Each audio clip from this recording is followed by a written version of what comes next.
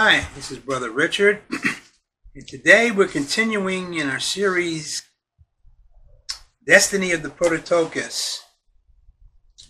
Scripture teaches the Prototokos are those whom the Father called from eternity before the era of time. Turn to Ephesians, the first chapter, verse 4.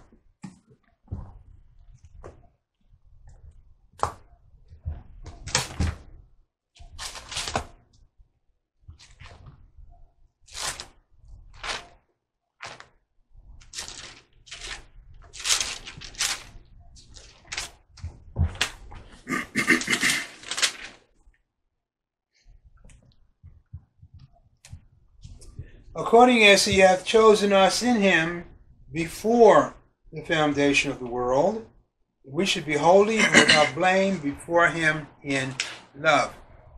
So the Prototokos are the preeminent group the Father has called before the creation came into being, before time was initiated.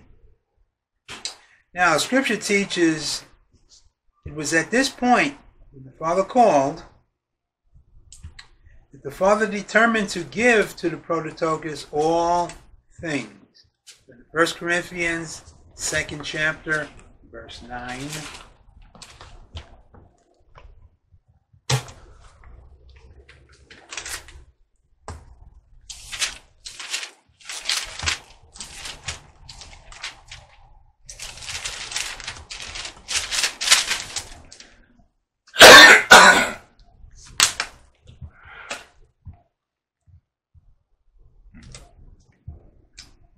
But as it is written, I have not seen, nor ear heard, neither have entered into the heart of man things which God hath prepared for them that love him.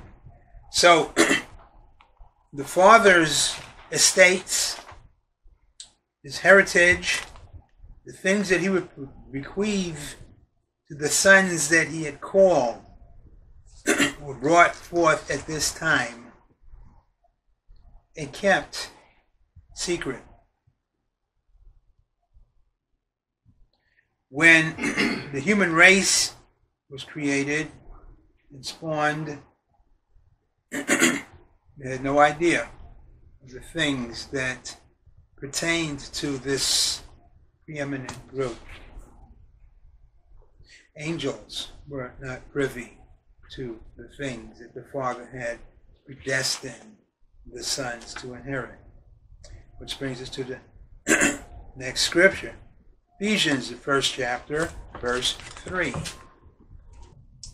Blessed be the God and Father of our Lord Jesus Christ, who hath blessed us with all spiritual blessings in heavenly places in Christ. Now, turn to Psalms, 33rd chapter.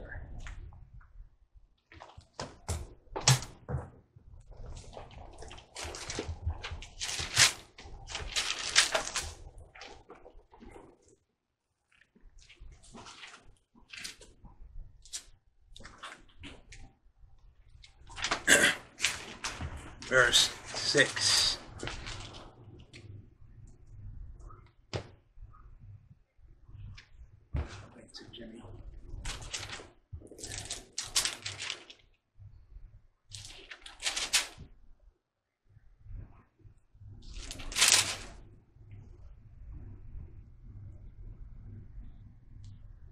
Are you there, Jimmy? Yes. Okay. Psalms 33, verse 6. By the word of the Lord were the heavens made, and all the host of them by the breath of his mouth. And we put these two scriptures together, we get a picture that when the Father spoke the heavens into existence, and all that are pertain to them, he, he in a time in which he called those who were destined to be part of the Prototokos group, those very heavens would become their possession, their inheritance. Nobody knew. The angels, thrones, dominions, principalities did not know that one day there would come a time in which their abodes, the dominions would come under the administration of the sons of God, of the Prototokos group.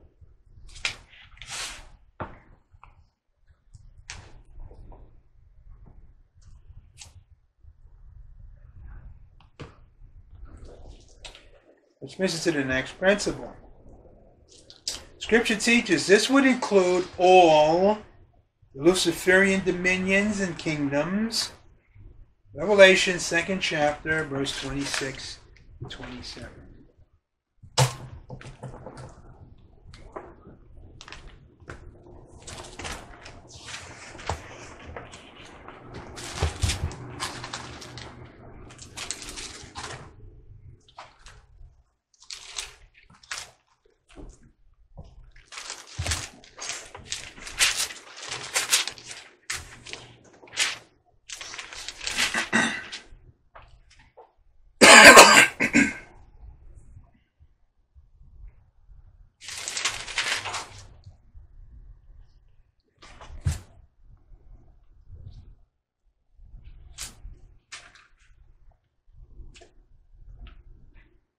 Okay, everybody there?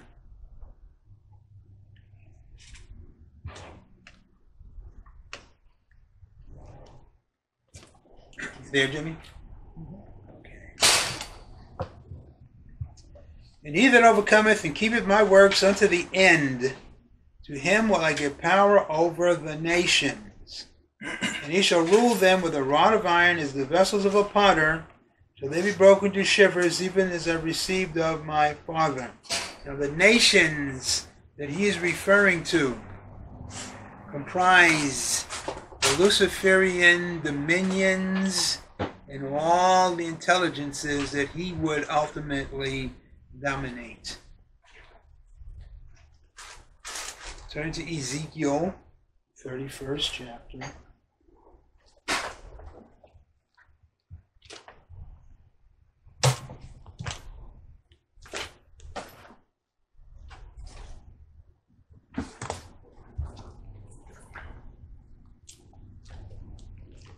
Verse 16. Ezekiel 31, verse 16.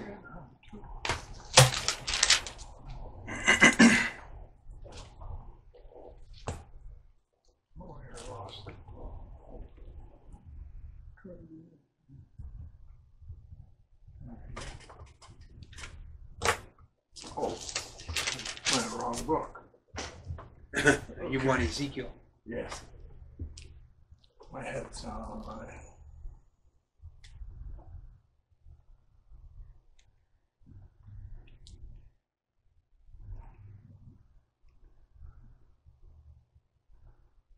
Ezekiel 31. 31. You get there, verse 16. Okay, got it. I made the nations to shake at the sound of his fall. The nations are the masses that Lucifer dominated prior to his being cast down to hell. I made the nations to shake at the sound of his fall when I cast him down to hell, with them to descend into the pit, and all the trees of Eden, the choice and best of Lebanon, all that drink water shall be comforted in the neither parts of the earth. So the nations are going to become the inheritance of the Prototokos group.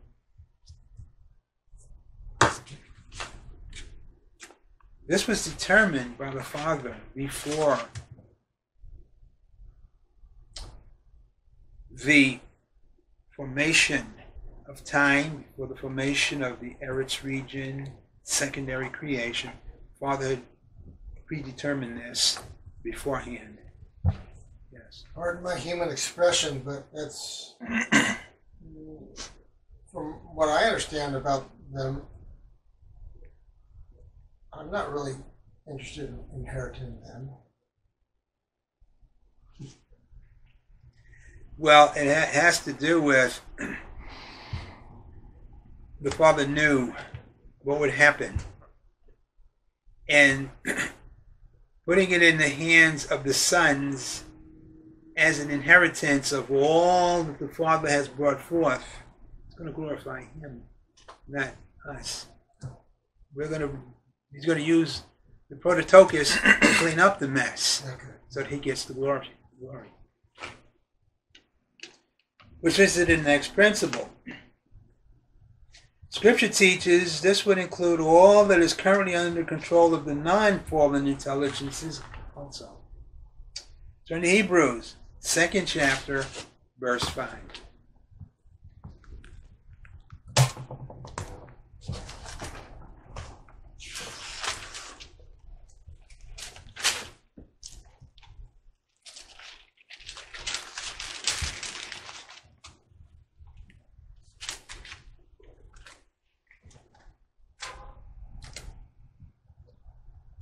For unto the angels have he not put in subjection the world to come whereof we speak. Now you remember when we read Psalms 33, he spoke, the heavens came into existence, and all that pertained to them. In other words, initially, immediately, thrones, dominions, principalities came into existence with the comprehension of the dominion status that they were created to manifest. What the scripture is saying is that in the age to come, the millennial age, their authority will be superseded by the sons of God. You will be directing and judging their activities. It's returned to the Father's put all things into the hands of the Son who will distribute all things to his brothers. Whether they're fallen angels or whether they're loyal angels. This includes YHVH. Interesting. Next principle Scripture teaches the Prototokos members have levels of spiritual comprehension. So, as in every other aspect, there is going to be a hierarchy of levels in the Prototokos group. We see this illustrated in the lives of the disciples. Turn to Mark, 14th chapter, verse 32 to 33.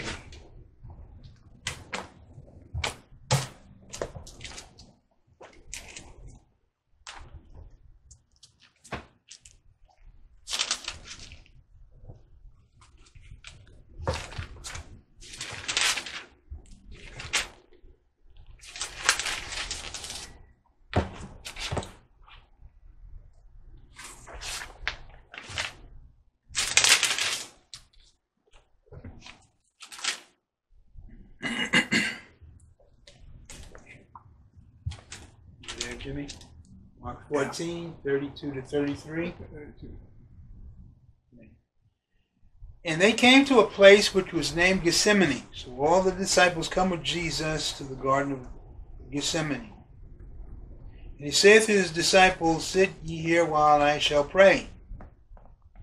She tells him to sit down. And he taketh with him Peter, James, and John, and began to be sore amazed and to be very heavy, and saith unto them, My soul is exceeding sorrowful unto death, tarry ye here and watch. So all the disciples, with the exception of Peter, James, and John, are sitting in a certain place, and then Jesus goes to another place and takes three of the disciples, Peter, James, and John, with him. Why? Because he needed somebody that had a high level of spirituality to be with him at that time. This is a, yes, Why was he amazed? But because of the things that were happening within him. Right, he wasn't amazed at the members. No, it had nothing to do with them. Right. He's going through his final uh, agony of going to the cross. And things that are happening within him, the knowledge. Primarily, he is totally affected by the knowledge that he's going to be separated from the Father. How many levels should we understand that there are within the group? Well, we're going to give some illustrations of the existence of levels, but that, how many is another for another time. Turn to Matthew 17, verses 1 to 2.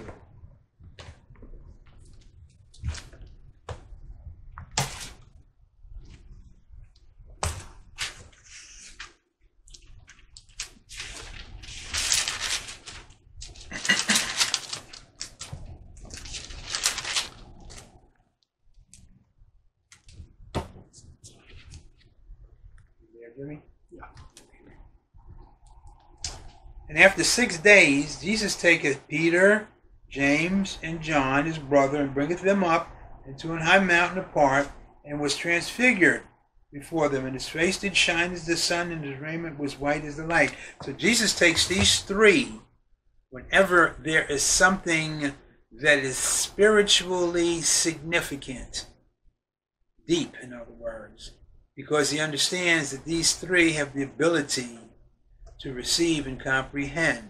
The others don't. Just out of interest, would you say that the members around this table have the equal capacity to receive what you just said? Uh, yes. Okay.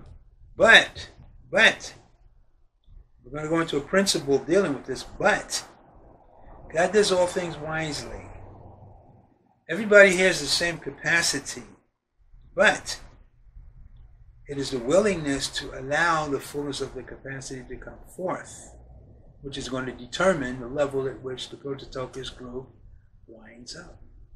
And I, I'm just going to add this, and I'm thinking just like the waters recognizing Lucifer's potential, it says the waters favored him, gave the, the most of themselves to him, which made him great. And I, I believe it's a, it's, it's, it's a similar, and I want you to correct me if I'm incorrect in assuming this, that the more you show the Father your ability to back off from your self preservation, your dying to self mannerism, and seeking His kingdom and your inheritance and pleasing Him, He's going to give you more. Exactly. Give you more. Exactly. Exactly. It is a, the, the, the final say so has to do with the will of the individual. Let's go on. So we see Peter, James, and John were the inner circle. Jesus would favor them with things that would be considered radical, uh, revolutionary. Re- uh, the revelation that he would want his disciples to see, to understand, would always start with Peter, James, and John. Now, the same thing was true. We said, uh, matter of fact, turn to the Gospel of John, 17th chapter. We want to establish something here. It did say in the scripture that John was Jesus' brother. John, Peter, James, and John, that John is Jesus' brother. It says So the his same brother. John? So I'm, that's what I'm looking for your correction right no, now. no, That's a different John. no, because uh, James and John were brothers whose father was Zebedee. Okay, it says, and after six days, Jesus taketh Peter, James, and John, his brother, and bringeth them up to a high mountain apart. Right. brother So of James James. and John is what they're referring Right. to. Uh, John, what chapter? 17th chapter, Okay. verses f- 5 to 6. Okay. Okay, you there, Jimmy? Yeah. Okay. Now, O Father, glorify thou me with thine own self, with the glory which I had with thee before the world was. I manifested thy name unto the men which thou gavest me out of the world. Thine they were, and thou gavest them me, and they have kept thy word. So, these are the prototokos. And Jesus is giving us the understanding they belong to the Father. Why do they belong to the Father? Because He called them, He chose them in eternity. And then He gave them to the Son in, in temporality to develop the fullness of sonship. Is exactly what's happened to all of us. Mm. We belong to the Father, Then when we when we come into the new birth experience, we become the sons to develop as brethren.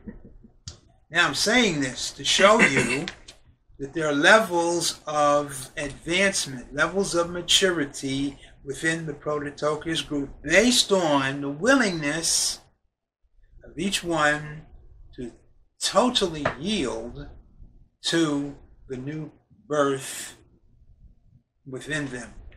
Now, why am I saying this? Because Paul illustrates the supremacy of this.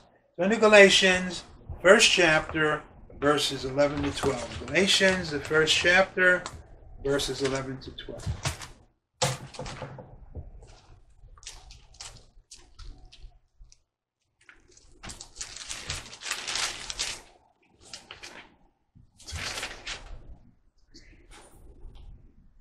Everyone there? Yes. There, Jimmy? Okay. But I certify you, brethren, the gospel which was preached of me is not after man. For I neither received it of man, neither was I taught it, but by the revelation of Jesus Christ. Paul is on a higher level in the Prototokos group than even the other 11. Why? Because Paul has the mindset and willingness to go for broke and to receive everything that the Lord has for him. So we can see then there, there are at least three levels Paul, the inner circle, and then the rest of the group. Would you agree with that? Uh, well, you could say um, the disciples constitute a particular level. The apostles constitute a particular level. After the resurrection of the Lord Jesus, they were all on the same level. You've just explained how Paul is now at a higher level to the rest. than those that were on the apostles' level. Okay. And why is that? I'll give you an understanding of why it is.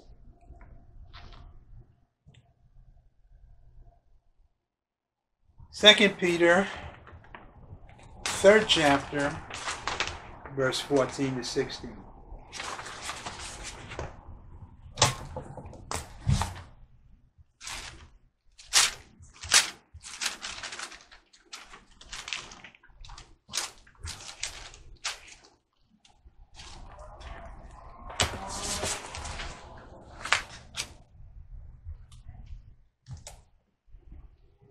Okay? Peter's just got through describing the end of this age with the elimination of this physical creation in vivid terms. He talks about it's going to go out of existence in a fire which will consume all things.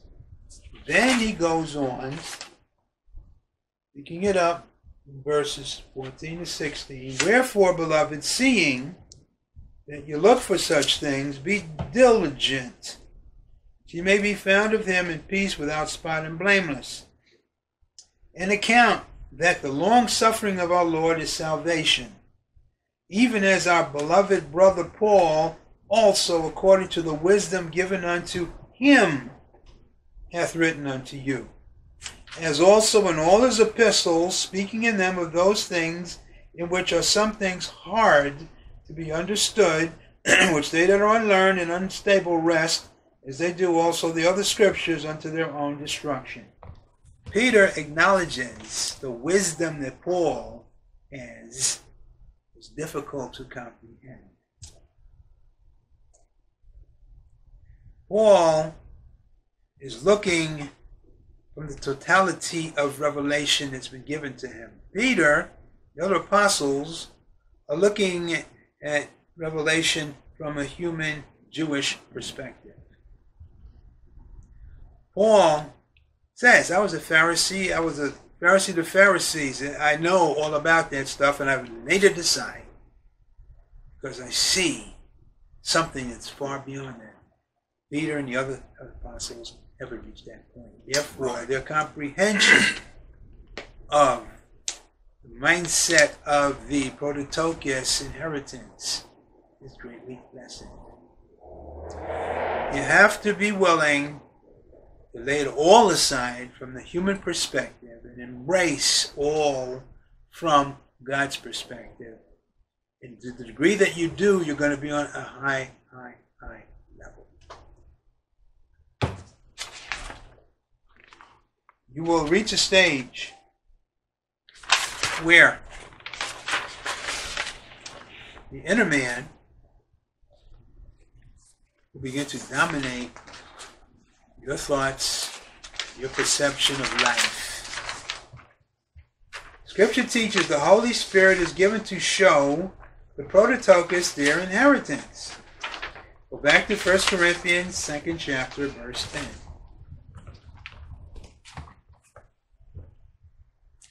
And we're going to cover some things here. First Corinthians, second chapter, verse 10.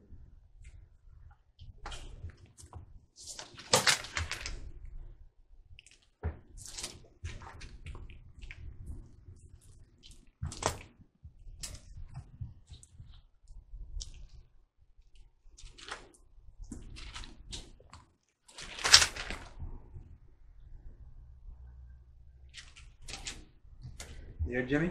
Yeah. For God hath revealed them unto us by his Spirit. For the Spirit searcheth all things, yea, the deep things of God. So Paul is declaring that what the Father has reserved for the Prototokos group from eternity is now made available to those who will desire to proceed and to pursue it.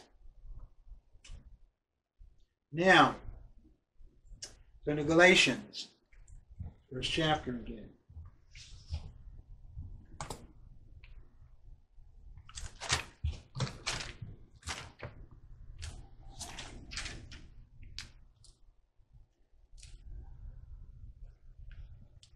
What chapter? Galatians, the first chapter. Okay. We're going to read verses 15 to 17.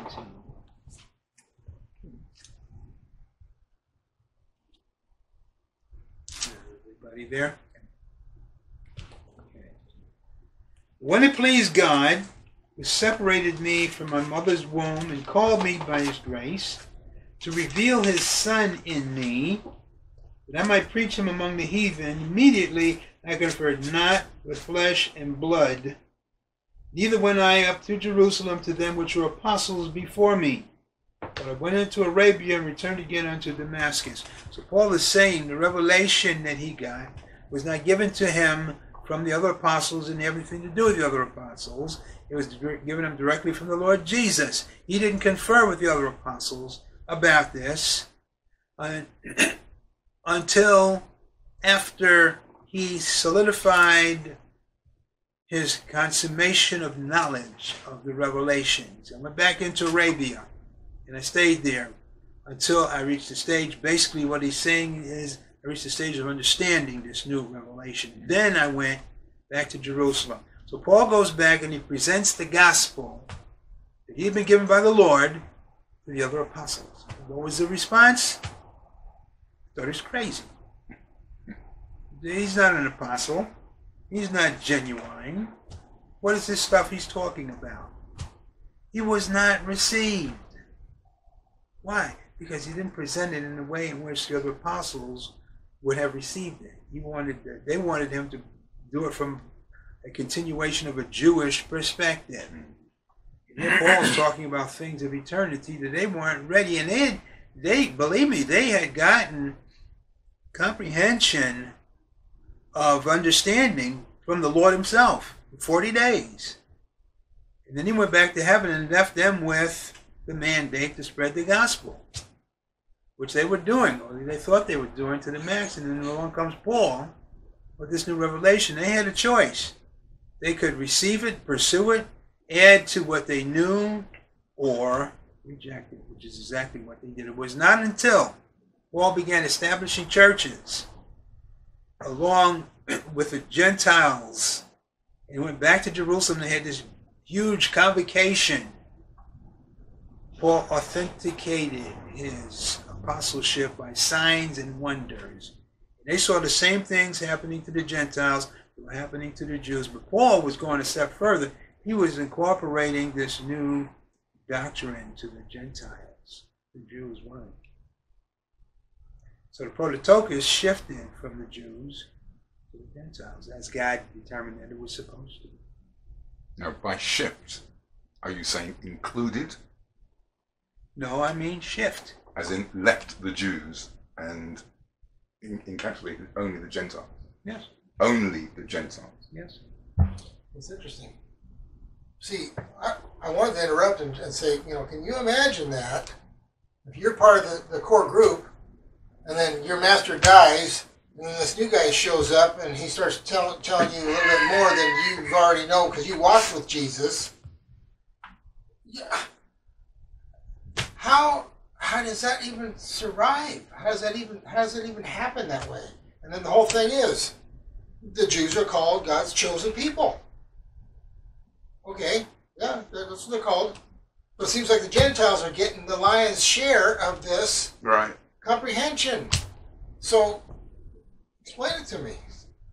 Just before you go any further, at that point, at that stage where Race is saying the Gentiles are getting the lion's share, do you think the Jews understood the reason why the Gentiles were getting the lion's share? No, They had no comprehension. no. They were they were um, um, uh, basically critical of it because they had been taught for generations and generations the Gentiles were beneath the Jews, don't have anything to do with them. And the, the Lord was trying to get the disciples for three and a half years to understand that the gospel was to go to everybody, it was for everybody else because the Jews had rejected it. Mm. Turn to Ephesians. That's the point. Turn to Because the Jews And rejected they it. rejected it, and that- exactly what Yeah. you said. Turn to Ephesians, the second. So it's like double trouble, really, isn't it? Well, it all can be laid to one one reason: human thinking. Yeah. Ephesians Ephesians, the second chapter.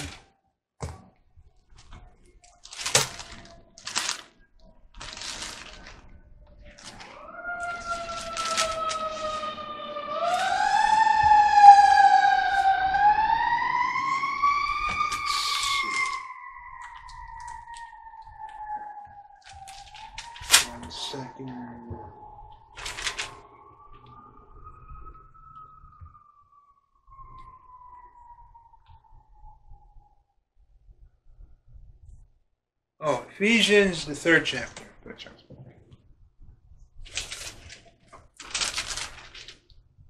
The third chapter, starting in verse 1, and we're going to read down to verse 7.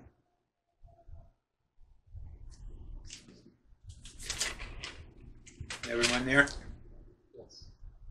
For this cause, I, Paul, the prisoner of, you, of Jesus Christ for you Gentiles, if you have heard of the dispensation, or the word actually, since you have heard the dispensation of the grace of God, which is given me to you, word, the Gentiles, how that by revelation he made known unto me the mystery, as I wrote afore in few words. So this is specifically a message to the Gentiles, the true Prototokos. Whereby, when you read, you may understand my knowledge in the mystery of Christ, which in other ages was not made known unto the sons of men, and is now revealed unto his holy apostles and prophets by the Spirit. So what we read before 1 Corinthians, God had predetermined the Prototokos would inherit all things. That was hidden until the resurrection of the Lord Jesus. Until the establishment of the church. Paul writes to the church, now these things are revealed. He's going on. He talks about unto his holy apostles and prophets by the Spirit. He's writing to the Gentile church. So what prophets and apostles is he talking about? The Gentile prophets and apostles of the body of Christ is now revealed. What's the mystery that's been revealed?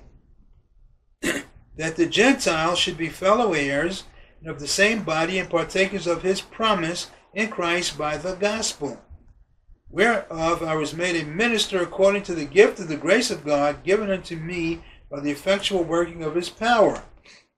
Unto me, who am less than the least of all saints, is this grace given, that I should preach among the Gentiles the unsearchable riches of Christ, and to make all men see what is the fellowship of the mystery which from the beginning of the world hath been hid in God, who created all things by Jesus Christ. So he's talking about the mandate has shifted from the Jews to the Gentiles. The Jews can still get into it, uh, become part of it, but they can't as a nation. And he goes on to talk about that in Corinthians, that God has separated the nation of Israel. Blindness is coming upon them. They will not uh, avail themselves of this. So it's shifting to the Gentiles. And the Jews are coming into a comprehension of it as individuals, not as connected to the nation and state of Israel. Can you just very quickly outline the understanding of replacement theology based on what you've just said?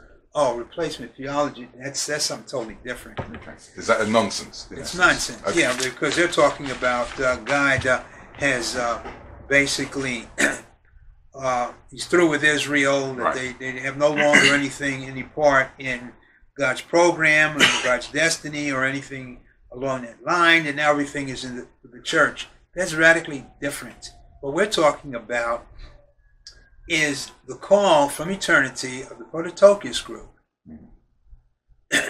and how it develops in temporality. God foresaw that the mandate would shift from Israel to the Prototokos group because Israel voluntarily would reject it. As a nation. But As a nation, but as individuals, Right. yes, wide open to them. Okay. Yes. So, I'm assuming, obviously, there is going to be Jewish Prototokos group members. Yes, definitely. Definitely. But as individuals. Yeah, exactly, that's what I'm saying. No, but the whole nation of Israel shall be, uh, what's the word, uh, preaching the word of God to and uh, offering salvation. during the tribulation period, Yes. long after the church is taken off the earth. They're missing. They're going to miss it. They're going to get in at the, at the end of the age. During the tribulation period, there is still sacrifice as well. Now, do you think this is going to happen surely because they see the actual evidence of the church being taken from, from the earth? In other words, they recognize they messed up a little bit. Here's the No. proof, and we better get, They're going to see it. Israel, because Israel at the time that the rapture takes place will be steeped in the in the reestablished Mosaic Right. ritualistic law. They're going to What you're saying. they're going to come around through the ministry of other Jews, two witnesses, Mhm. and then 144,000. And then a high dose of persecution during the tribulation period at the hands of the Antichrist, the beast. Yes. Are, is it fair for us to assume the 144,000 are Messianic Jews? Yes. Oh, yes. They're called the first fruits. In other words, they are the first of the nation to receive the Messiah. Twelve tribes, 12,000 of each tribe. Then, then again, it has nothing to do, they have nothing to do with the Prototokos. Yeah. Because number one, they won't make the rapture, and they'll be on a, they'll be part of the General Assembly. Now, the mandate at this point is in the hands of the Gentile Prototokos. And actually, when you take a look at it, very few of the Prototokos are even aware. They have to be waking up. So I'm going to send more emails. Yes. I thought you'd say that. Yes.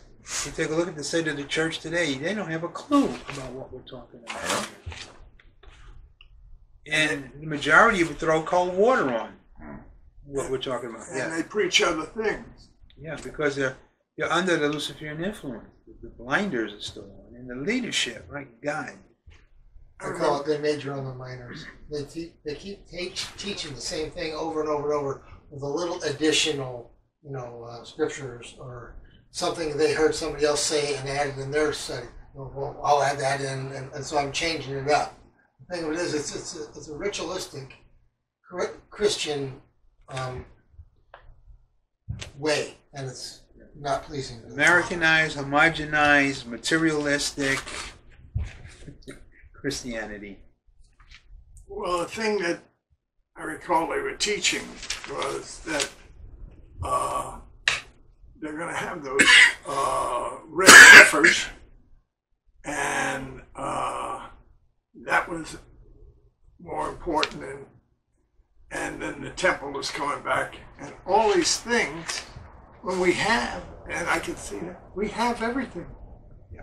We don't need the temple or the red heifers, and they're not where we're supposed to be. No, the Jews, the Jews are still under the old covenant. That's all they can see. They're blinded.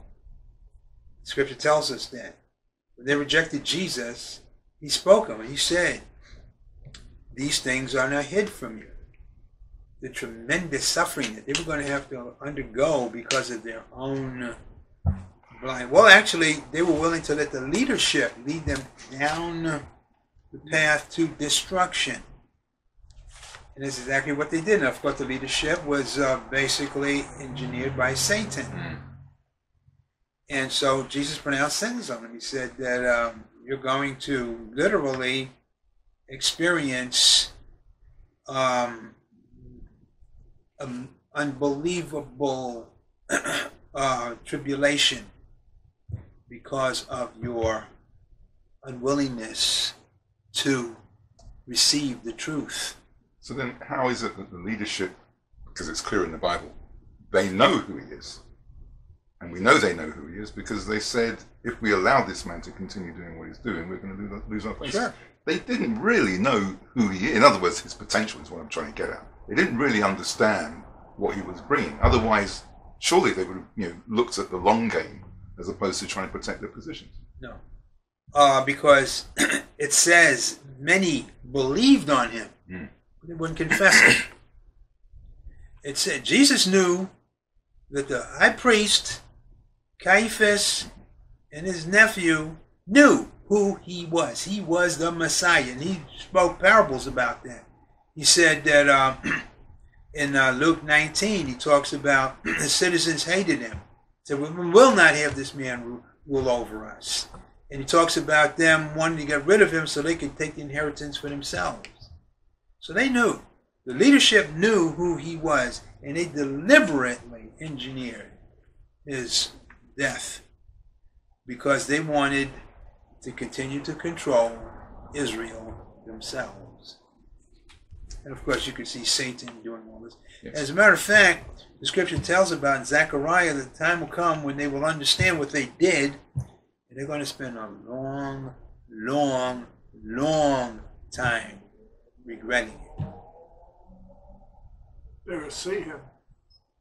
And It said that it'll reach a point where it will go down to indi- the nation will mourn. It will go down to individuals. They're literally going to cover themselves in sackcloth and ashes, weeping bitterly because they'll understand what they allowed to happen.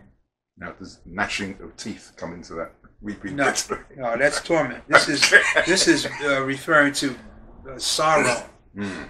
for transgressing, and then of course, added to that, you're going to see the prototokos operating, the sons of God, and they're going to see, they're going to find out, they're going to understand what it was they allowed to slip through their fingers. But doesn't that come down to whether they were called or they weren't called? Because surely, and the reason I'm saying this is because if they were called, it may take a few times you know, to get knocked on the head by the Lord, but they will understand that they've been called and they'll go about their business. Why would that be the case? There's a heavenly call, which is the prototokos, and there's an earthly call. Israel had an earthly call because they are Adamites. Right. But let's go on. Scripture teaches those who yield to the desires of the new creation fully will become the Lord's inner circle. Again, we said, when the call is realized and it's pursued to its fullest, then the Holy Spirit will bear witness with the inner man, the new spirit creation. And the, and the desires of the new spirit creation will dominate the life. this is the major principle of who is going to be at the top of the prototokos hierarchy and who won't. The, the willingness of the mind to yield to the desires of the spirit fully will become the Lord's inner circle, seated on his right hand. In Revelation, the third chapter, verse 21. We covered this briefly last session. Revelation 3, verse 21.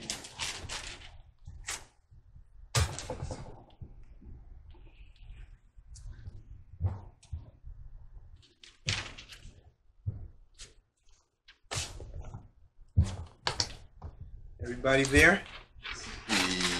Oh, we'll wait. Yes. We'll wait. Yes.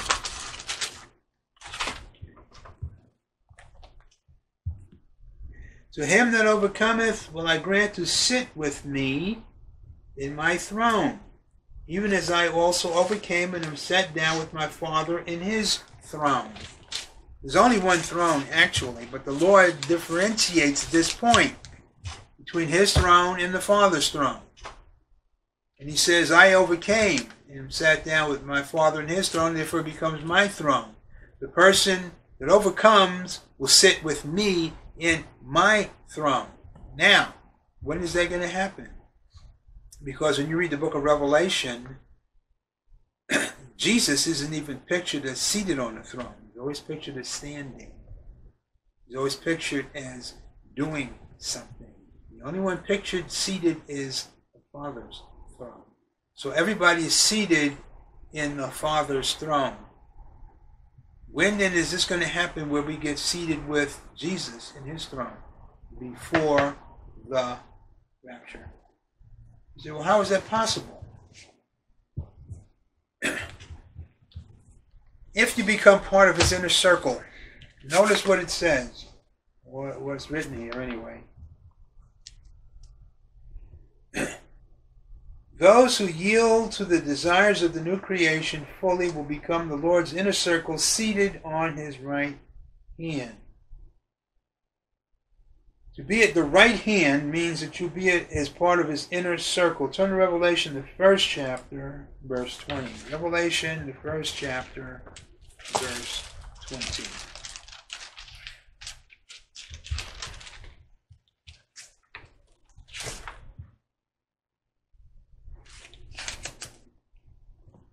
The mystery of the seven stars which thou sawest in my right hand. So he's got these seven stars in his right hand. The scripture tells us that Jesus is in the Father's right hand. It means you're at the closest position you can be in Christ. Christ is the closest position you can be in the Father. Therefore, the right hand signifies the intimacy, the closeness, of the relationship. Seven stars have achieved this relationship. Mystery of the seven stars which thou sawest in my right hand. What are the seven stars? And the seven golden candlesticks. The seven stars are the angels of the seven churches. The seven candlesticks which thou sawest are the seven churches. What's being said it's being said that the seven churches that he mentions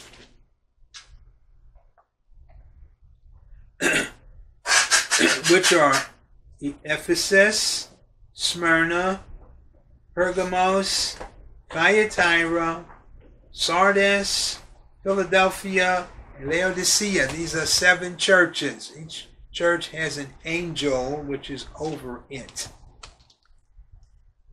We want to break this down a little more. Now, the angels that are over the churches, how'd they get there? And who are they? Turn back to Revelation 22nd chapter.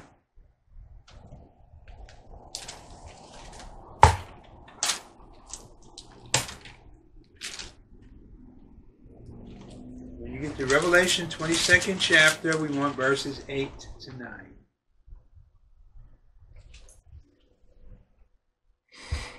And I, John, saw these things and heard them, and when I heard and seen, I fell down to worship before the feet of the angel which showed me these things. Everybody clear on that? Mm-hmm. What did he do? He fell down to worship at the foot of this angel. What does the angel tell him? Then saith he to me, See thou do it not, for I am thy fellow servant, and of thy brethren the prophets, and of them which keep the sayings of this book worship God. So the angel is not an angel, the angel is a saint. Comes from the human race. Turn to Revelation 21st chapter. I mean, Revelation, the 19th chapter. The angels are saints. Are they all members of the Prototokos group? Yes. Okay.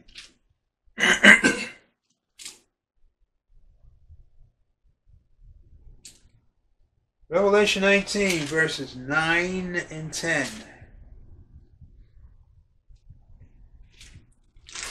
Everyone there? He saith unto me, Right, blessed are they which are called to the marriage supper of the Lamb. And he saith unto me, These are the true sayings of God. And I fell at his feet to worship him. Again, falls at the feet of the angel to worship him. And he saith unto me, See thou do it not, I am thy fellow servant, and of thy brethren that have the testimony of Jesus worship God. For the testimony of Jesus is the spirit of prophecy. It's not an angel, it's a saint. At least two distinct events? hmm Okay. Yes, they happen twice. It's the same angel.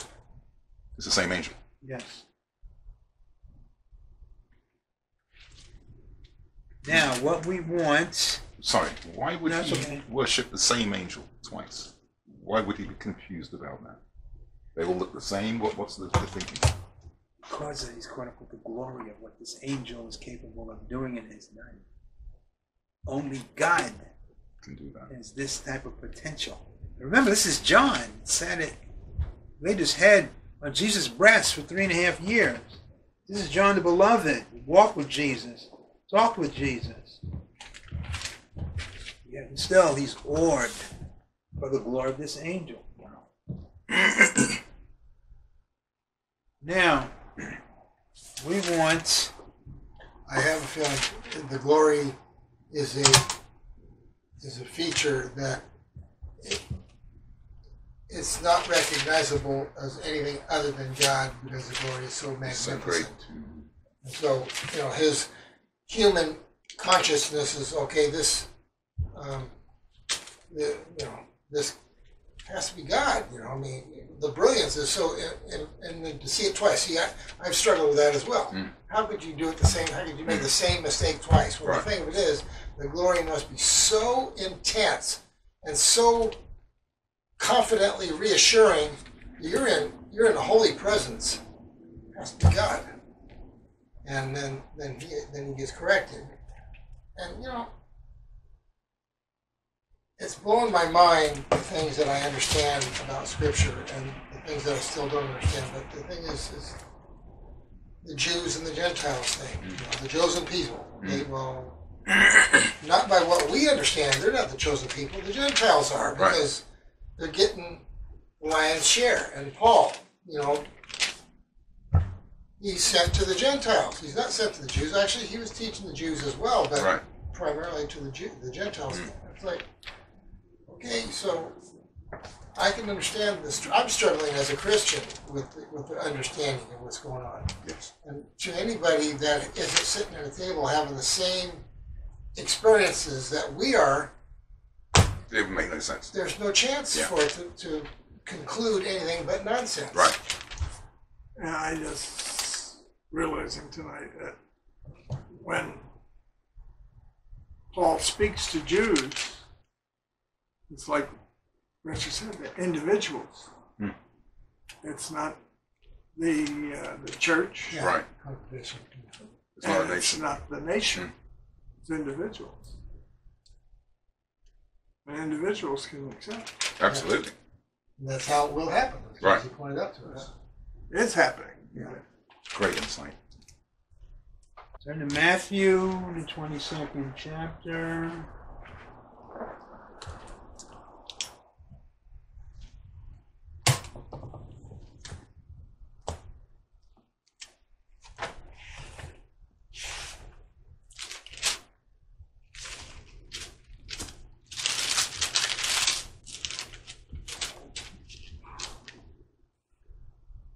Picking it up, get there, verse 28 down to verse 30.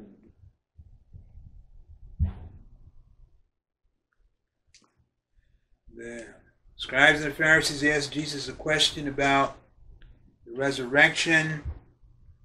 A man married, a woman married several men. Whose wife would she be? We're picking up verse 28. Therefore, in the resurrection, whose wife shall she be of the seven? For they all had her. Jesus answered and said, Ye do err, not knowing the scriptures nor the power of God. For in the resurrection they're neither marry nor are given in marriage, but are as the angels of God. So men will have an angelic glory that is conferred to them from the resurrection. First part of the resurrection is what we call a rapture. So what John sees in this glorified saint is an angelic glory. The word that in Greek which, which means angel-like. This is conferred, a glory conferred in the resurrection. And at the highest parameter of existence, John sees a saint with this high glory. And he's calling the saint an angel from the beginning on to where he's corrected. Yeah. Yes. So, the millennium, when there are even the tribulation period, the thousand year reign, let's do the millennium. There will be more humans being born. Will there be marriages? hmm There will be marriages. On earth, yes. So this is relegated only to heaven. In heaven, they don't marry nor give in marriage. So this is purely what you're referring to after glorification. Is, is what I'm understanding. No. Um, this is the start of the glorification process. Then we'll have the glory of angels, talking about the resurrection. Okay. After resurrection, men are going to be raised to a position of glory. And the position of glory will be, in, there's a Greek term, angelos, which means angel-like. And those angel like individuals will be marrying? No, no, no. These So are the all- ones you're talking about. So these are all, this is again relegated to the heavens. relegated to the heavens. The marriage will take place on the earth between humans that are born on earth during the millennial period. Uh, they will cohabit and will have a baby boom at the second coming because the earth is going to be repopulated by humans, which will be overseen by the sons of God, which will be angel like.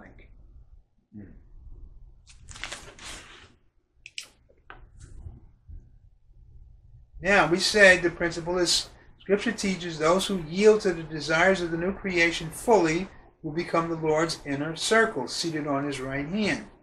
Turn to Philippians, first chapter, verse 23.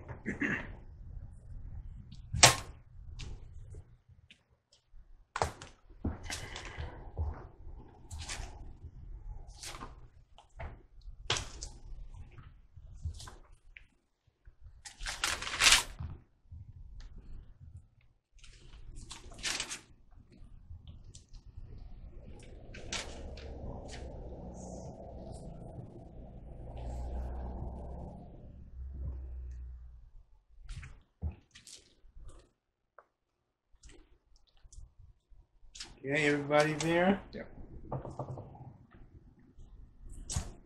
For I'm in a strait betwixt two, having a desire to depart and to be with Christ, which is far better. Nevertheless, to abide in the flesh is more needful for you. Paul is saying I've reached the stage where I'm between two.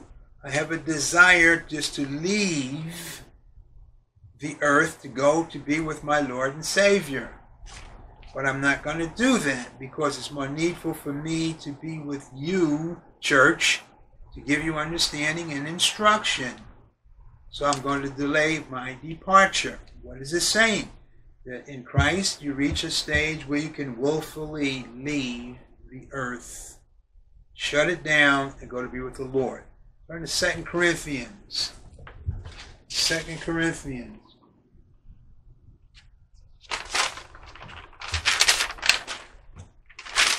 Fifth chapter.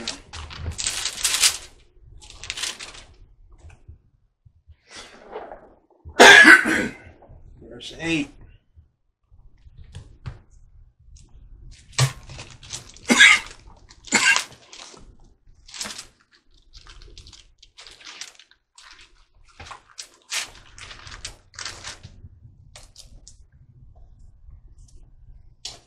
We are confident. He's saying, I have a confidence. I say, and willing, desire, rather to be absent from the body and to be present with the Lord. Paul is telling us in uncertain terms. He's reached the stage where he can dismiss his inner man and go into the heavens to be in the presence of where would he go? At the throne of the Lord. He's an overcomer. Look at uh, verse 1 and 2, same chapter. Paul is talking, whole, dedicates a whole chapter to this. We know that if an earthly house of this tabernacle were dissolved, we have a building of God, a house not made with hands, eternal in the heavens. For this we groan, sigh, earnestly desiring to be clothed upon with a house which is from heaven. Paul is telling us a principle. When you reach a stage where you are yielded to the desires of the inner man who was created for the heavens, not the earth. You pick up his desire. And he says, earnestly desiring to be clothed upon with a house which is from heaven. He's talking about a celestial body. If so, being clothed, we should not be found naked. For we that are in this tabernacle do groan, being burdened, not that we should be unclothed, clothed upon that mortality might be swallowed up of life. What is he saying? He's saying the desire of the inner man, the new birth, the new creation, is to inhabit the region for which he was created. That's his desire. That's what he was created for. He goes on. Now he that had wrought us for the self same thing is God, who hath also given unto us the earnest of the Spirit. He goes on to say, you reach a stage where you have a confidence. And we, therefore we are always confident, knowing that whilst we are at home in the body, we are absent from the Lord. We walk by faith, not by sight. We are confident, I say, and willing, whether to be absent from the body and to be present with the Lord. So he lays it out in no uncertain terms. This is the inner circle. This is the level at which the Prototokos group that reaches this level will be the become the overseers, the angels of the churches in the pre-rapture era. Yes. There's a saying attributing to John the Baptist, and um, of this generation, of Paul's generation, I think the same scripture can be used and, and, and further. Of men born of a woman, there hath none, nothing, no one's raised greater than John the Baptist. Paul, he's raised of a woman. He's greater than John the Baptist, in my perspective, from uh, his generation. I'm talking about there's two gen- generation difference of generations. Two covenants, yeah, the old covenant and the new covenant. Jesus is talking about the old covenant, the law. He says, in that under that stat status, there has been nobody greater than John the Baptist. Nevertheless, he that is in the kingdom, new covenant, is least in the kingdom is greater than And that's amazing. That just boggles my because of this whole thing here. So I'm, I'm looking for a an, a an attribute, a declaration, a recognition of Paul in Scripture, other than me rec- realizing and recognizing that he is the one who, who's given me the knowledge of the kingdom. Okay, that there's nobody greater than that. I mean, and then, then there's, you know, we have to also, the group here, include the messenger. And so, you know, it's, and the messenger is, is that guy I just pointed at. So, you know, it's like, Jonesy, um,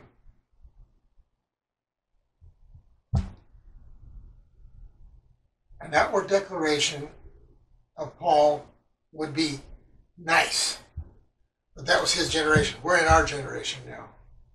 And our generation seems to be the last one.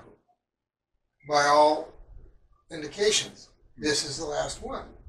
And, you know, I mean, I we definitely do know that he's a, a member of the Prototokos group. And we also definitely do know that he is in the right hand of Christ.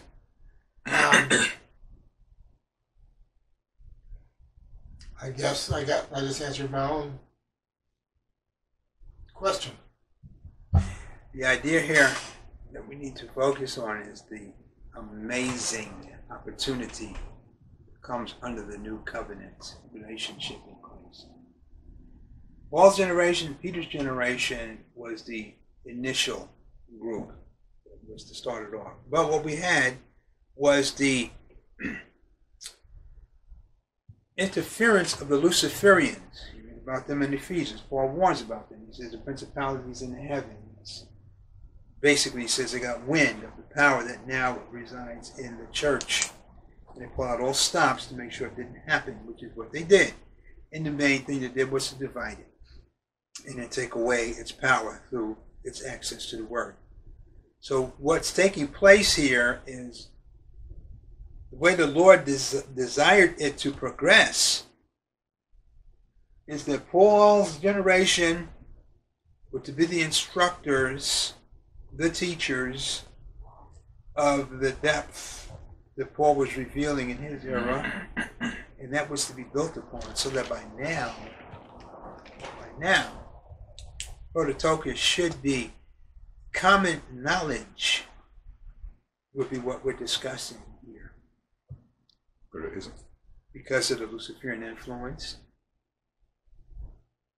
In other words, God's program was restricted. The thing is, the thing is, see, I know our, our calling, our calling is higher than the other generations, and that um, we're going to undergo knowledgeable persecution. Uh, back then, they did they they had an idea where it was coming from, but now we have we have knowledge of of the origins and the reasonings and so on and so on and so on. But we've qualified because of the generation that we're in for stronger persecutions. And I'm telling this group right here, it's not like it's brand new, but Satan is going to do whatever he can to make sure you find a problem with me, he finds a problem with him, he finds a problem with you, and y'all find problems with me. so the whole thing is, is literally, we have to know that's going to happen because this is a solid group. This is a strength that's not even imagined. That's sitting right here, right in this house. Satan is not going to waste time on people that aren't figuring this whole thing out the way we have. We can remind him of his end. The thing of it is, is he's also been given permission to have an effect on us because we're in the development stage of our Prototokos classification designation. And so we are going, and, and the whole thing is, is um, everything is our reward. It's not in measurement, it's not in quantity, it's not in partialed Portions. out. It's everything. So just by the fact what so um how much suffering uh, i- is my part? You know how, mu- how much do i have to suffer? You know i mean we try because because a human wants to quantify and have an, an, an understanding of the beginning and the ending and when i think i'm all done. But the thing of it is is we got to get rid of the human concept of, of time and beginning and ending because we're being everything is ours. It's already God's already said it's ours. It, it's already a past tense thing. He's viewing it from the past in His Word. It's already a done deal. It's a done deal. We just got to do is not blow it, and we are definitely have opportunity to blow it. It says your name will be blotted out of the Lamb's Book of Life, indicating there are some that's going to blow it.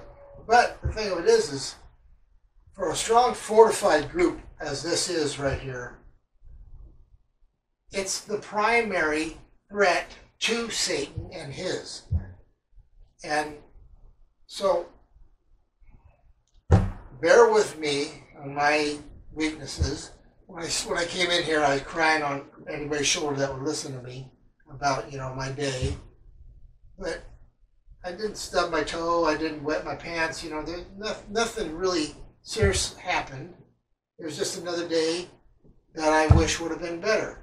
But understand, folks, we're all going to get stronger and stronger persecution. All of us are going to. People are not going to understand our intents.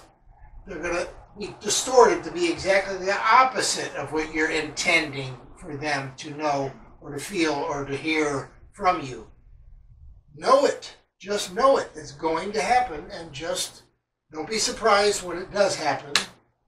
Just be confident that the Lord Lord's watching, see how you're going to handle it.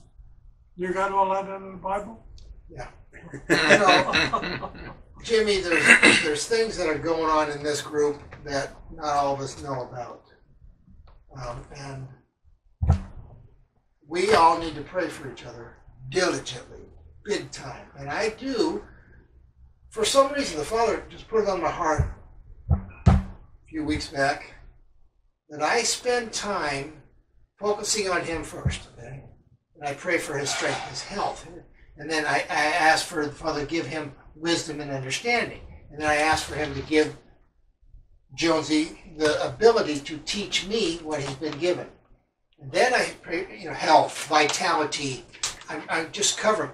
Then I go to Dorothy. I do the same thing.